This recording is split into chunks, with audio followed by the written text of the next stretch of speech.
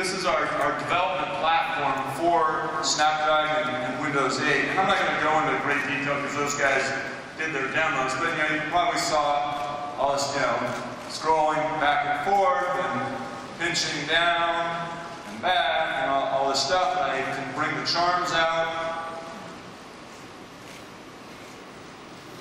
And then, uh, so you see AT&T is on there. Tap on AT&T. And then mobile broadband, I touch that, and see it said LTE. And then, if I go here, I can show you Windows Explorer, Internet Explorer. Of course, with the Snapdragon, you know, I gotta show that, right?